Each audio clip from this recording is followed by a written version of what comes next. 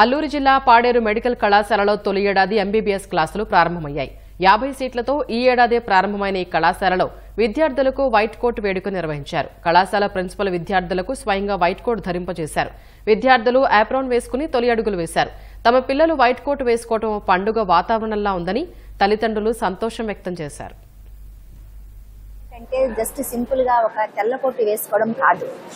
ఈ తెల్ల కోటు వెనకాల ఇది ఒక డాక్టర్ అనే గౌరవార్థాన్ని ఇస్తుంది.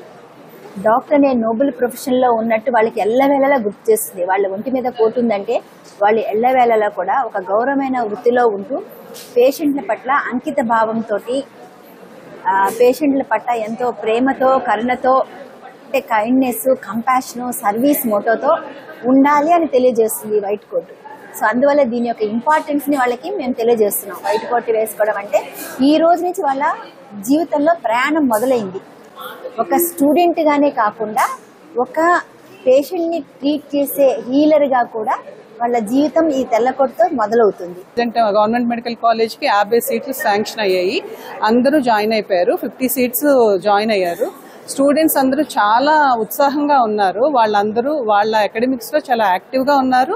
చాలా ఉత్సాహంగా కూడా ఉన్నారండి. వాళ్ళని మంచి డాక్టర్లుగా ఈ సమాజానికి మేము అందజేయగలము అని అన్నిటికన్నా మించి చాలా అనుభవం అనుభవించిన మేడం ఇక్కడ ఉన్నారు. హేమలత మేడం కాకినాడలో సూపరింటెండెంట్గా చేసి ఎంతో మంచి పేరు తెచ్చుకుని మళ్ళీ ఇక్కడ కాలేజీకి వచ్చి మేడం ఇక్కడ ప్రిన్సిపల్గా చేయడం ప్రిన్సిపల్ అండ్ సూపరింటెండెంట్ చేయడం అది మా అదృష్టం. ఇక్కడ స్టూడెంట్స్ అదృష్టం కూడాను. అదేవిధంగా ఇక్కడ సీనియర్ ఫ్యాకల్టీ అందరూ కూడా చాలా ఫ్రెండ్లీగా మూవ్ అవుతున్నారు. స్టూడెంట్స్తో బాగా ఇంటరాక్ట్ అవుతున్నారు. అందరితో కూడా బాగా పేషెన్సీతో మాట్లాడి బాగా డౌట్స్ అన్ని క్లియర్ చేస్తారని నేను అనుకుంటున్నాను.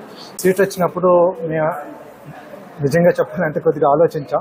ఎందుకంటే పాడేరులో మొదటి మా- ఇదే మొదటి సంవత్సరం ఏం చేయాలి ఏంటని. కాకపోతే ఫస్ట్ ముందు పాడేరు వచ్చి చూశాక మనం డిసైడ్ అవుదామని వచ్చాము. ప్రిన్సిపల్ మేడం గారితో కలిసాం హేమ మేడం గారితో నిజంగా ఆవిడ ఎక్స్పీరియన్స్ కానీ మిగతా అందరు ప్రొఫెసర్ గారి ఎక్స్పీరియన్స్ కానీ చూసినప్పుడు నిజంగా చాలా స్టన్ అయ్యాం అసలు. కాలేజ్ ఇన్ఫ్రాస్ట్రక్చర్ కానీ ఇదంతా చూసినప్పుడు మాకు నిజంగా చాలా అద్భుతం అనిపించింది. ఇంత తక్కువ టైంలో ఈ కూటమి ప్రభుత్వం నిజంగా చంద్రబాబు నాయుడు గారి ఆధ్వర్యంలో ఇవన్నీ ఎంత తొందరగా జరిగాయంటే ఇది చాలా సంతోషం వేసింది మాకు.